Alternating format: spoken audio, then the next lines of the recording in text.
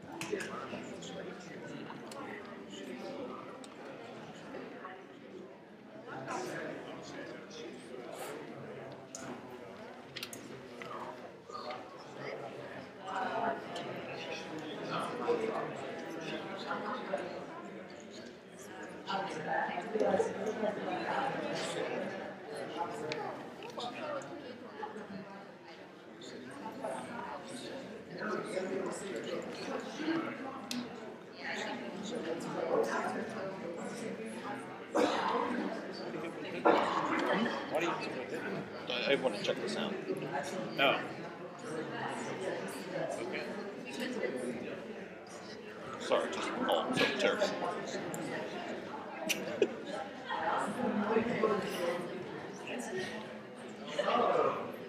We should be recording this on the camera too. That's no, no point. They're recording. Who is? Well, I mean, that thing, the, the, the, the company is. Well, I mean, I just I set it up so that it was recorded. Oh, okay.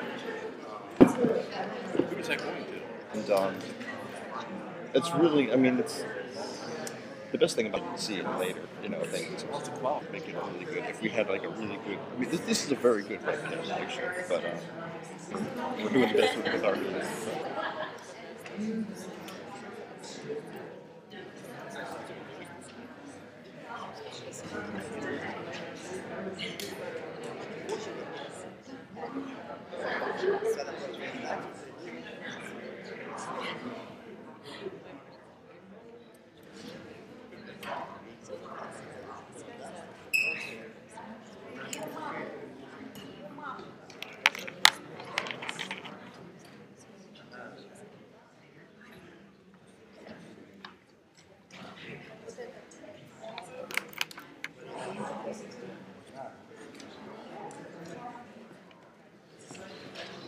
When's mom coming back?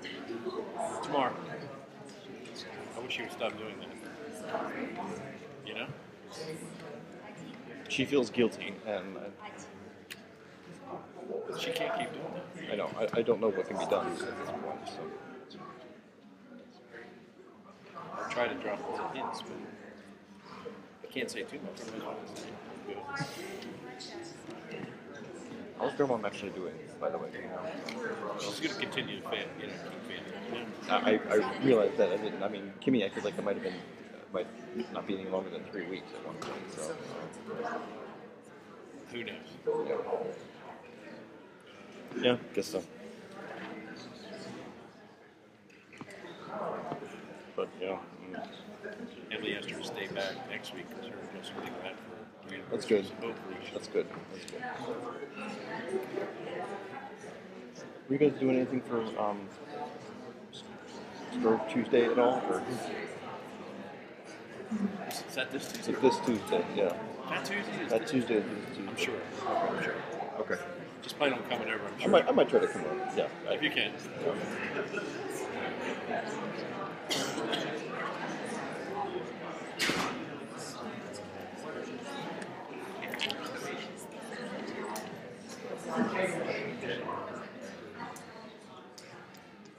You can keep going. 'cause I have to shut this down at eight thirty tonight, no matter what.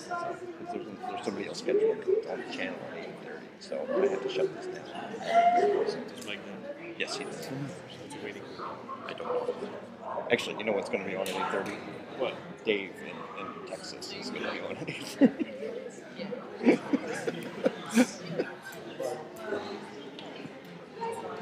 What part of Texas are you in? Austin. I think I think it's University of Texas. So, yeah, some kind of a panel. Evening. Good evening.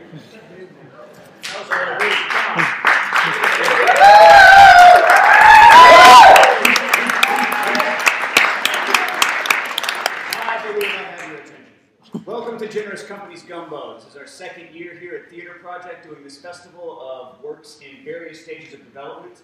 Uh, it's a time for a lot of people to check in with their ideas. Uh, people don't get the opportunity to do that very much. Uh, as artists, we're all focused on trying to get it perfect before we allow anyone to see it. And this festival sort of throws that aside and allows us to put something out there that is not done, is declared not done. Share it with an audience, have a conversation, break some bread, have a beer, talk about it, get some ideas, and then we can move forward.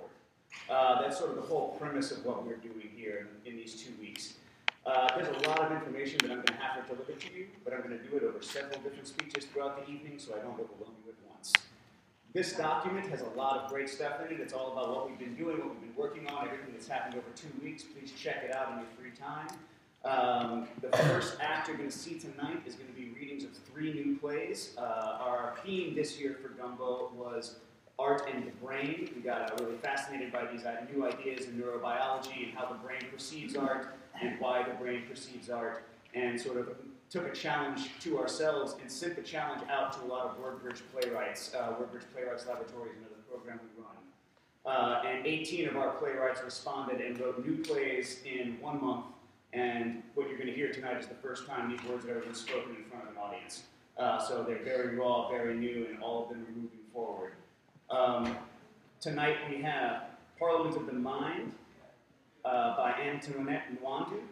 We have A Trolley Problem by Stephanie Swirsky and Cartographer's Dream by Dipika Guha. Uh, I want to ask you all to turn off your cell phones. I want to remind you that in case of an emergency, the doors you came in also work the other way. Uh, don't go that way, it's not going to end well. Um, thank you all for coming tonight. Everything we do here is uh, by donation only. It's just pass the hat, pay what you can, pay what you think it's worth. Uh, we hope you think it's worth something. When you pass one of my lovely assistants carrying sombreros out there, if you like what you see, throw us a couple of bucks. We really appreciate it. Uh, I'll see you. The WordBridge players.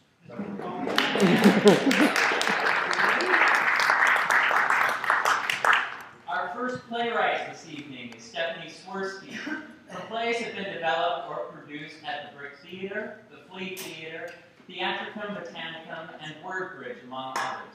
She received her BA from New York University and her MFA in dramatic writing from the University of Southern California. The Trolley Problem by Stephanie Swirsky.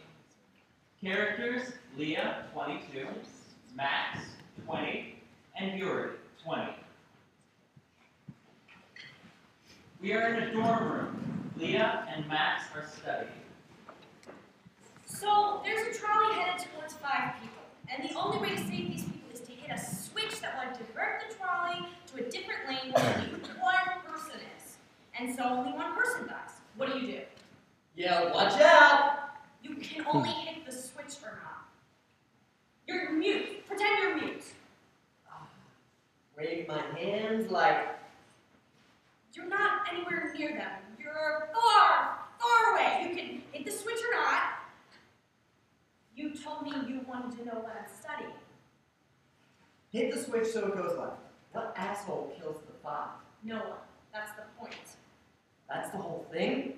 That's easy peasy. Can I take this class? That isn't it. Always more than meets the eye.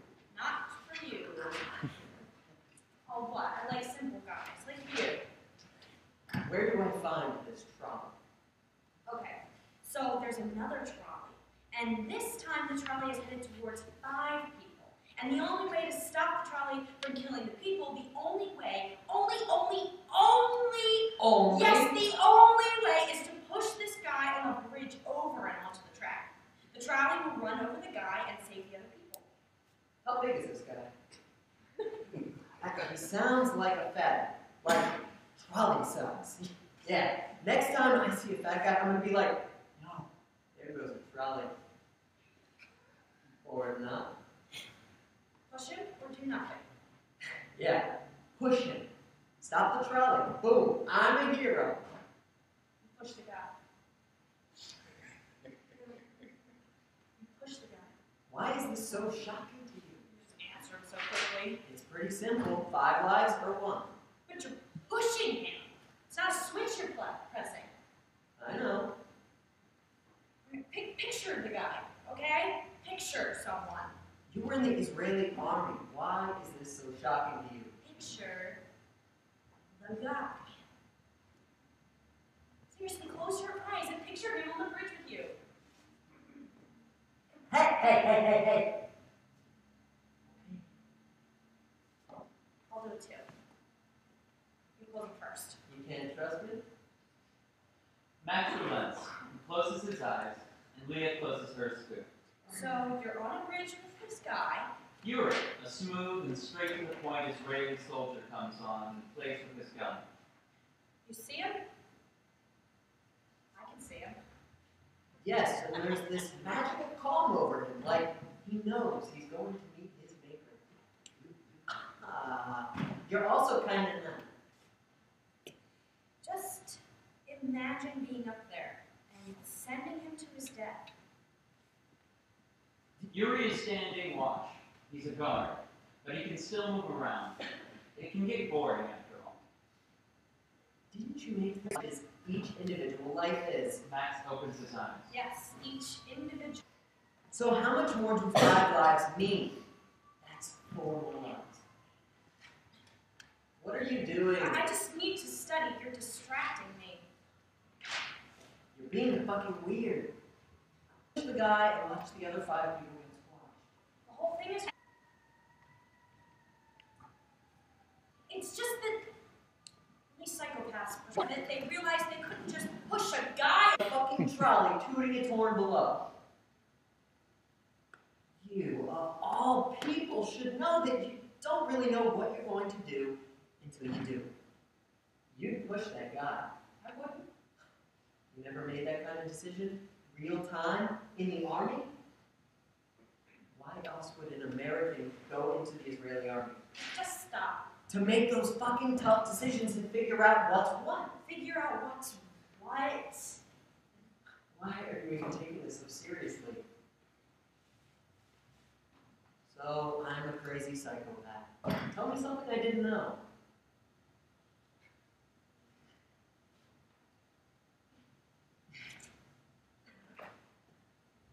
I won't push the guy if you tell me not to. I'm good with taking orders. Yo, I know. I know. Just serious for my own good. Sorry. What? No. No. Look into my eyes. Are these the eyes of a crazy person? Ow, my contacts. Idiot. What can I say? We learn new things about each other every day. Oh, I already knew that. Leah and Max read, or try to. Is it top secret? You're making me feel top secret by not telling me. We've been dating a month. Is it really that big of a deal? Guard. I was guard. Cool. What did you guard? Israel. The whole country. Are you about to study now? I didn't realize how big and powerful you are. Are? Are? You're on reserve duty? I don't get the big deal. One life, logical. Honestly, I think even hitting the switch in the first scenario is hard. Don't think so hard about it. You're like those dudes in England. Totally in English. Years of anything can routine forward. Hard from the back. Yeah, that's how I felt when I went to high school. It was pretty amazing. Such a lie, though. You know? What you did, that was real. Never felt real. Watching sand from this big tall tower. You make things fun or tolerable. The last couple of months I was with her. I can't surprise you anymore. Yeah. There's nothing out there. Until she met a different soldier, and then. Yuri goes for Leah's shirt. So he's trying to. Show, as you say. And that. Why are Why you you laughing? I feel weird. I'm purposely ignoring your story because if the hook up with someone else. Then we went. Am I doing something? I told him I wasn't keeping it. All right. Babies fuck things up. I'm doing something here in the army. I didn't know what I was saying, and he was like, You don't want to stay in Israel after. It's okay. It's safe. he hardly spoke to me in Hebrew. Everyone else did. But he said he liked me because he could practice with me, and I felt more comfortable speaking in English too. Yuri I goes. wasn't even pregnant. I was just so stressed out that I stopped having my period. Sometimes I wish I could be tougher. I thought I was. Yuri leaves. Leah looks at the screen. I saw this Palestinian girl, probably my age, running.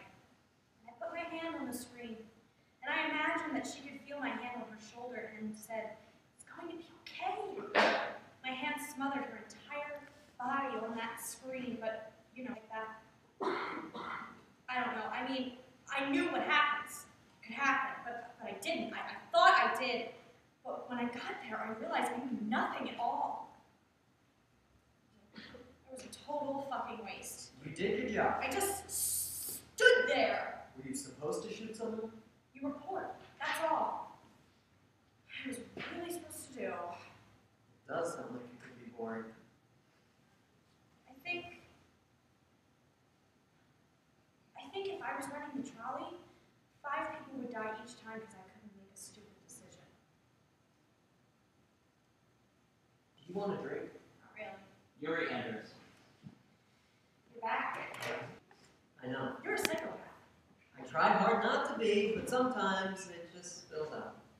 Actually, you know, that's what they say in class. Uh, the, the professor says that psychopaths, they try to act normal. They work really hard at it, actually. The ventromedial prefrontal cortex and the amygdala, which works with emotional responses, they both don't work. They don't work right. So I guess psychopaths can't understand emotional triggers. But I guess they can learn it or figure it out and seem totally normal, but sometimes all that thinking misfires, and then they end up acting like an asshole. I guess we're both crazy. She takes it, and then But then you do. That's what I've learned about you. And I'm kidding. And the second playwright tonight is Antoinette Nwandu. She is a New York-based writer. Her work has been honored with ACTF's Lorraine Hansberry Playwriting Award and the NEC's Douglas Turner Ward Ward Prize. Her plays have been produced and developed by the Movement Theater Company, Wordbridge Playwrights Laboratory, Dreamscape Theater, By This Time, and the Monarch Theater Company. She is a member of the Dramatists Guild. Parliament of the Mind, or Clara versus the Skydive. The breakdown. Judge Willpower, male, British, old, a stuffy judge who peers down over his spectacles, wears a powdered wig, represents the part of Clara's brain that gives her willpower. Barney reasons, male, nervous when he doesn't, represents the part of Clara's brain that formulates her reason. Mr. Gigglepants, male, young, portly, a man-child with a blankie, wears a two curly, unkempt hair, has a habit of raising his hand when he speaks, but not his brain responsible for emotion. And written with red fire hair, she wears an emerald green dress and no shoes. She is Clara's soul. Ten minutes before the jump. Signs over today's proceedings. Professor Call this session of the Parliament of the mind to all things logical and rational in order. We're more than ready, Your Honor. And Mr. Gigglepants, how goes the case for the emotion? I just want to say, I love you guys so much. That won't be necessary. Now it seems as though we have got a new decision in the case of. Oh, good heavens. Clara v. the Skydive. General sounds of murmuring from the court. Order! Order right this instant, all of you, before I throw you out, and I mean you, instinct and motor skills. We'll have no more outbursts from anyone. all right now, Barney, what's all this nonsense about? Thank you, Judge. I'll do my best to present the facts and only the facts. Two weeks ago, a certain male that we'll call K. Ooh, oh, that stands for Kevin. Yes, GP, we know. So why not call him Kevin? It's a really nice first name. Because we need to keep our heads about us if we want to make a reasonable decision in this case. We'll stick to nothing but the facts. K stands for Kevin is a fact. Hmm. An awesome fact. Professor, please continue. Thank you, Judge. Two weeks ago, Kevin invited our dear Clara, and therefore us, on what some might call a rather unusual outing. Fun! I, I call it fun. He asked us to go skydiving. And have we done this sort of thing before? No, Judge. We most certainly have not. So we did say to Kevin, and I quote, I've always wanted to be more adventurous, end quote. And then we did that thing we sometimes do that reads flirty. Be that as it may, the fact remains that a decision must be made. Do we say yes to this excursion, which, I might remind the court, is both expensive and unsafe? He said he'd pay. What's that, GP? Speak up. It's just that Kevin said he'd pay. His cousin stepmom, his cousin stepmom owns the place or something, and we wouldn't jump alone. They have these harness things, and then they, they I, I don't know, they sort of strap you to an expert. That sounds so reassuring. Come on, guys.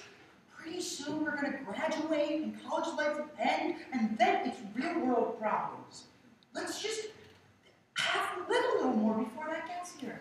May I remind the court that in a vacuum, bodies, like the one I hope we're all trying to protect, are bound by laws of science to accelerate at 32 feet per second every second. And that's without the resistance from the wind, or how high up the plane will be, or whether someone still inside will have to push us.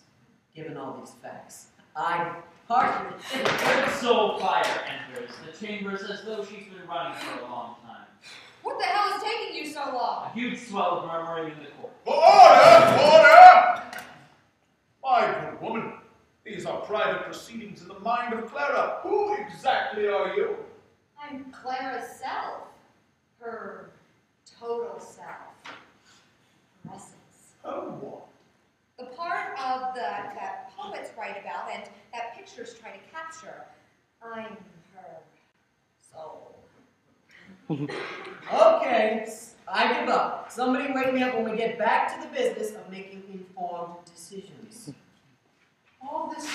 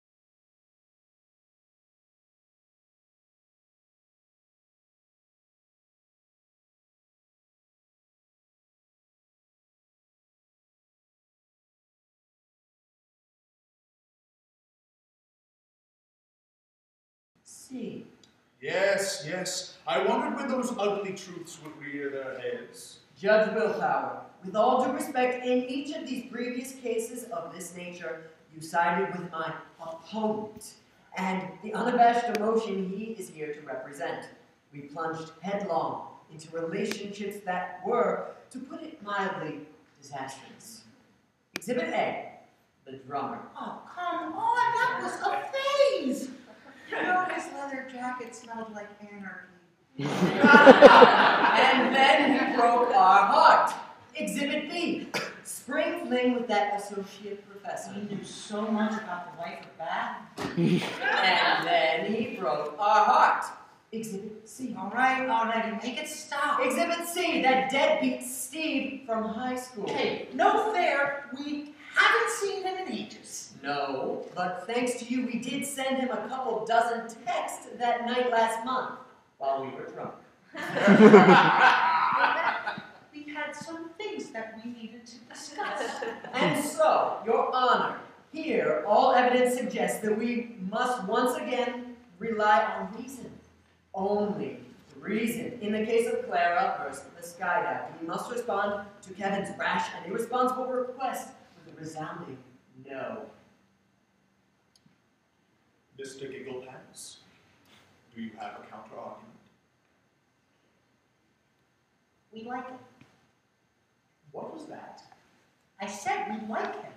And we think jumping will be fun. Is that it? Hmm, that's all I got. All right then. I guess it's up to me now.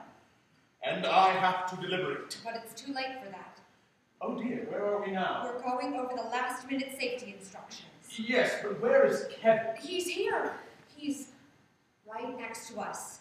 And he's telling us it's gonna be okay. He takes our hand. Quiet, please. I least need to hear the safety instructions. He's saying now or never. Never, never, I pick never. We don't want this. No, we don't. We need a huge mistake. We want our money back. How many times do I have to say this, Kevin? Hey! Oh, they're opening the doors. The whole world lies before us. Do you see it? No. Why not? Why you closed? Then open them. You've got to.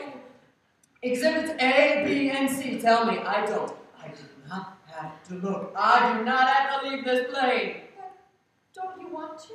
Oh, the air feels so crisp and, and sharp and clean. I think I want to do this, Barney. Then you're on your own. I won't be party to another foolish heartbreak.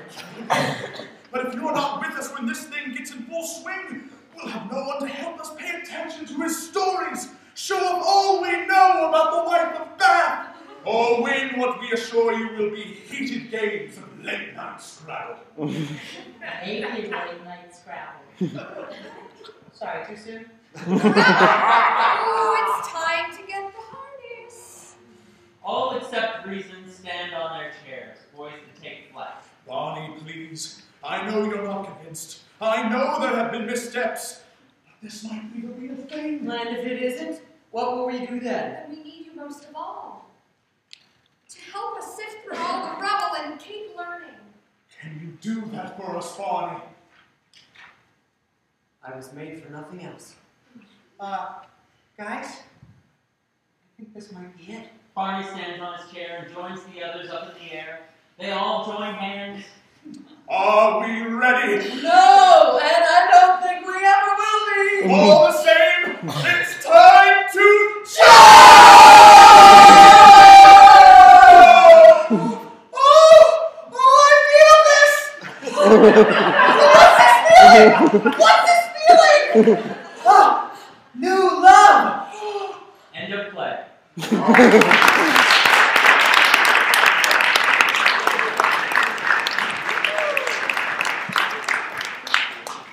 Jibba plays include The Betrothed at the Wellfleet Harbor Actors Theater and Chester Theater, Passing, the Risk Festival, Cutting Ball Theater, and The Rules, Superlab Playwrights Horizons Clubbed Thumb. She's a Dramatist Guild Fellow, a Time Warner Fellow at the Women's Project, and is currently under commission from the New George's Barnard College. Cartographer's Dream by Dipika Guha. Characters. Actor 1, a surgeon, female, late 30s. Actor 2, a factory worker at a tobacco factory. Actor 3, a dad out of work, mid 40s. Where? A stage. When? Today. Spotlight on surgeon, late 30s, extremely well kept, articulate, with that strange impenetrability of doctors, in, impenetrability of doctors who are doing their job. I am a good surgeon because I feel nothing for my patients. my slow and oh, shall we say, biologically sluggish empathic response has been a tremendous aid to me in my profession. For one, it's a real time saver. Instead of being bogged down by the weighty emotional content of trauma, I can, frankly, just concentrate on the important stuff. I am, both in my own estimation and that of others, a remarkable surgeon. Dad comes into life. He's in his mid 40s, average frame, goes to the gym. My son's a hobbit. yeah, I had no idea this was true until I started to spend more time with him. And then it was something I just kind of noticed.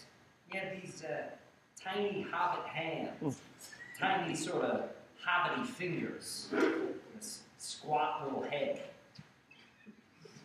I know he's three. It's a smoke. Brain surgery is sensitive. You know who else is sensitive? My little sister. We had a joke growing up. She felt things, and I did things. Only it wasn't a joke. Because she, well, she gets up for pregnant women on trains. She helps the elderly down the stairs. I barely see pregnant women or old people. It's like they're not in my lying vision. Can my sister remove the bone from the skull to expose the brain? No.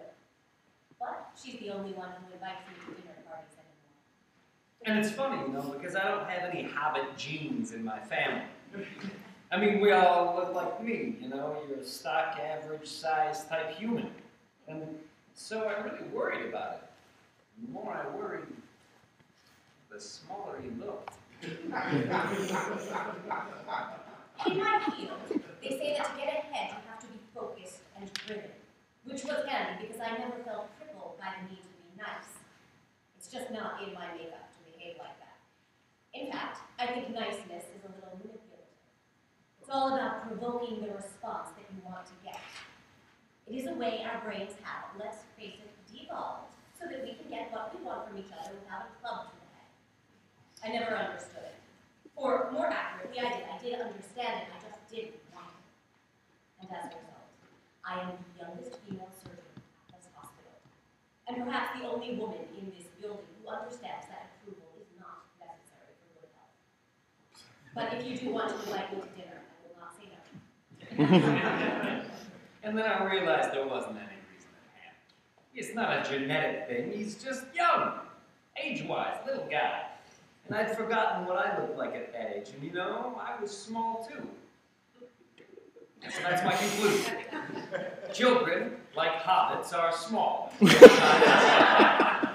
sometimes when they eat, they, they eat bad things, they go green. So I've heard a tale that in order for the human brain to engage in any kind of storytelling, it needs to know where we are, when we are, and why we're here. Life is large and very confusing. So we've drawn you a map. A projector turns on a very basic, not the scale map of a small town. This is a map of the town where this story happens. So that's the where taken care of.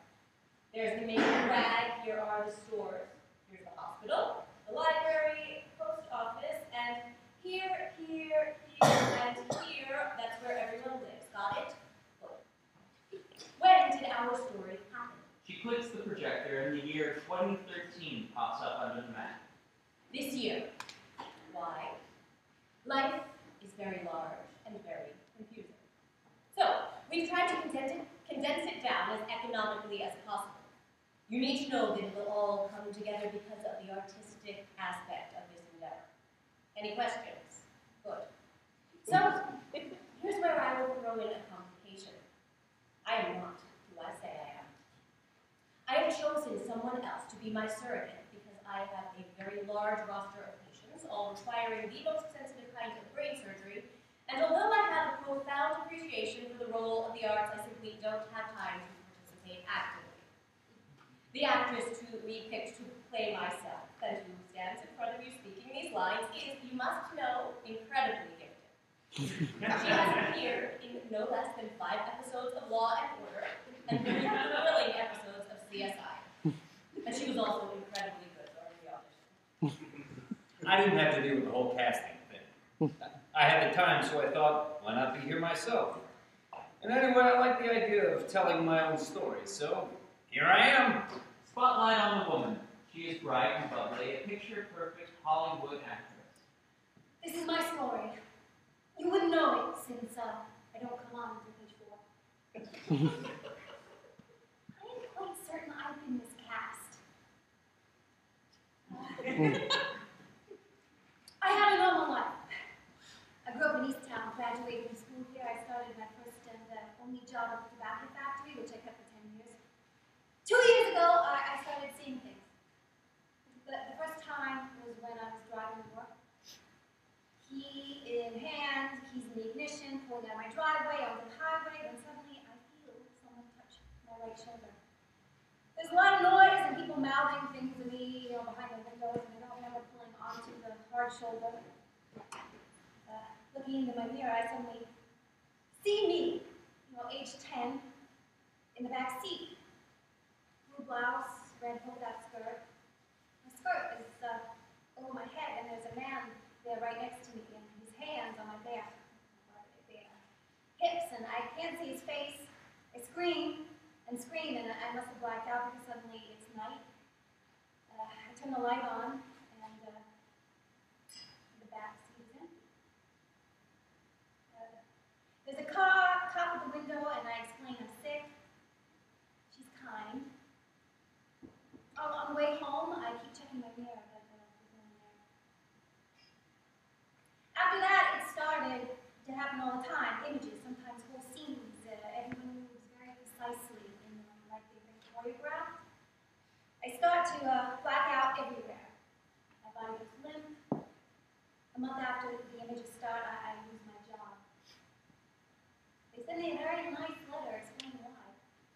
I didn't my job. Me and my wife was making more money. And, you know, the little guy was getting sick a lot at daycare. I mean, really sick. Tuberculosis sick, uh, breathalyzer sick.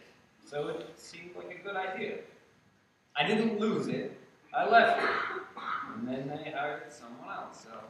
And just got the brain surgery, brain tumor surgery, brain aneurysm surgery, bleeding, bleeding brain surgery, meningioma brain surgery, minimally invasive brain surgery. I excel at them all. Sometimes I long for more ranking systems, because once you've reached the top, it's hard to think about what to do next. The pictures keep coming. I'm here with my legs sticking out of my bed, and there's this other body bent over me. Some of the images are in black and white, as, as though it was a time before color. And then one day, while I'm standing in line to pay for groceries, I see this little girl and boy across the aisle fighting each other. They look like siblings. They hit each other with balloons. Maybe there were balloons in store that day. And then in a flash, I see me in my bed, and this time his face stares out into the camera of my memory. It's my father. He looked like he did when he was a teenager. He had a beard. I, I hardly remembered him with a beard. That face didn't last long. I feel everything fall away from my hands. The last thing I hear is a broom popping and the, little. I specialize in craniotomies. Sometimes the patient stays awake, and we talk about things. I wonder if they'll invite me to dinner when it's over. We talk, kind of. And he points, and I say the name of things, and he repeats after me. It's kind of like a conversation. Sometimes we make animal noises together. He likes that. I took him to the grocery store recently, but he and this little girl hit it off. Well, they, they hit each other. Just balloons, nothing serious, but her mom threatened to sue. It's going just great. I feel like a part of me has drifted away. During the day, I lose all sense of where I'm standing or sitting and often wake up in strange places only a blues to remind me that I've been somewhere else. I begin to wish I could be somewhere else, somewhere beyond my memory, beyond my mind, beyond my comprehension, beyond pain. And then I have a brilliant idea. We go to the library. There's a play area there with well-educated children who surely have fewer germs than those ones in the daycare. And I can read and use my festering brain there. I go to the library to uh, look up numbing agents, hoping that something exists in the world that might ease things for me, away the gray-white electricity in my brain. It's there, in the mind-body section, that I find him. I start to think of him as my new brother. I go back to the library many times after that. I, I don't want to look up the information online. I want to feel it in my hands. So the first time it worked like a treat. Lovely little well-read children. We could stay there all day. We got a burger for brunch. I read the paper. He's as happy as can be. And so I decided we'd go there every other day. After meals, we get in the car and have our little adventure. Stopped feeling so, you know, uh, obliged to do the housework. My new friend is called Phineas Gage.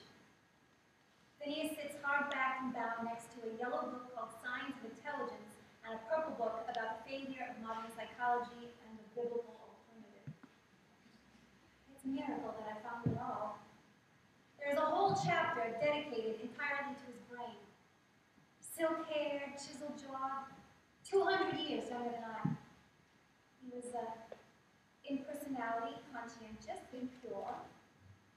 He was standing by a road bed in 1848 when he lost concentration and an iron bar in his hand went completely through the side of his head.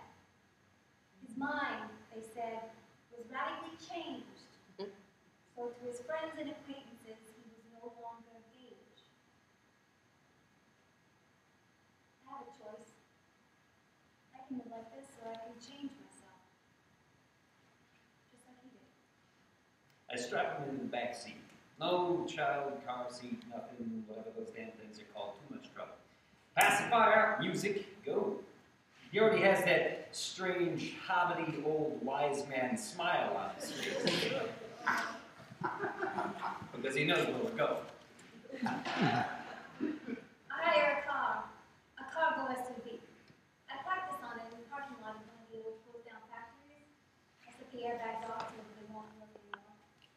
Then I install a small metal pole left over from my basement from a, an old plumbing episode. and Super glue it, not being of an engineering mind, onto the front windscreen.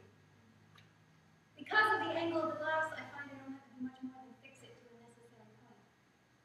Then I let the air out of all my front tires. I'll drive it until it explodes. My car will skid into oncoming traffic or into the side of the road. And that hole will surely, I think, go through my skull. We're singing together when I hear the explosion. And I don't even think that it's happening to me. But then there's glass in my skin, and I look into the back seat, and there he is, this little guy, his eyes wide open. I snap my gloves on. Something nags in my head. This feels awfully familiar, but I can't tell why. soaked in blood. When I see her body sliding into the MRI scan, I think, do I know her? We go to college together? All I can do is think about how Mia doesn't know we're here. How we're supposed to be home. Then I realize it's the metal pole.